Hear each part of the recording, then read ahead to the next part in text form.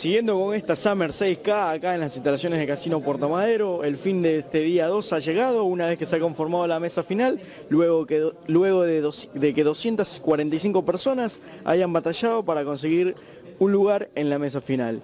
El chip líder de este día ha sido nada más y nada menos que nuestro amigo Daniel Alzarian, que ha logrado conseguir más de 1.080.000 fichas. ¿Cómo estás, Daniel? Contento, ¿no? Contento, muy Felicitaciones. Muchas gracias.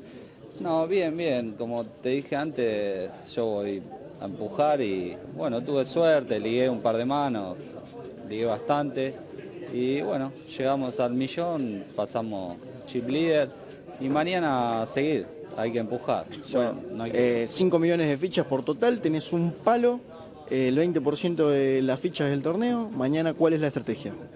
Y mañana voy a tratar de aguantar un poquito y y, después mandar. Cuando tenga, le vamos a dar para adelante. Cuando, tuvimos, cuando tuvimos una charla en el break me habías comentado que habías conseguido tener más de medio millón de fichas.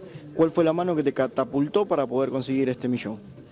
Eh, yo tengo Rey Dama de corazón, vuela tres corazones al flop, eh, dentro de ellos un as.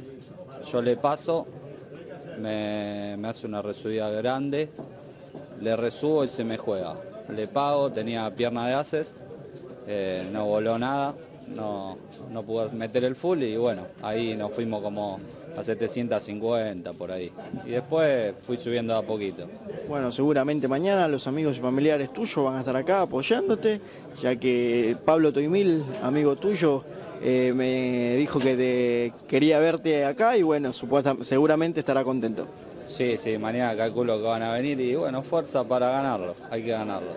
Bueno, desde Poker Días mañana te deseamos lo mejor, esperamos que esta noche disfrutes ya que no es fácil llegar a una mesa final, que lo estés disfrutando desde ya y te deseamos lo mejor para mañana.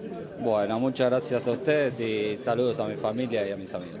Señoras y señores, Daniel Alzarián para ustedes, Poker Días Argentina trabajando y llevándote las mejores incidencias de lo que es este verano tan picante. Buenas noches.